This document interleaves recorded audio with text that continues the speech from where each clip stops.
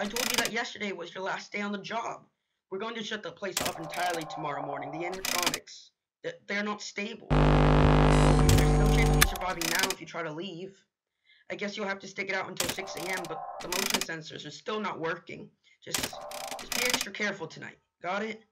Okay. Try and stay safe. I don't want to have to find another body.